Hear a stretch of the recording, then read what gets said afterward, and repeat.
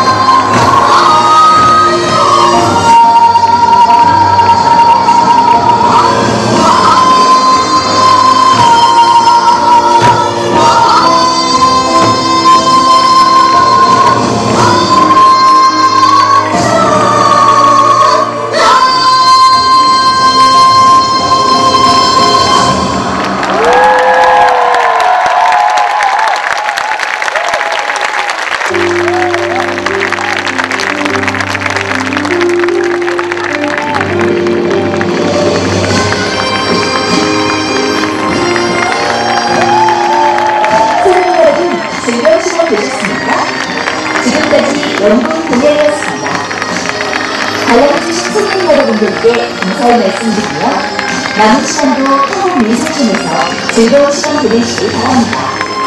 대단히 감사합니다.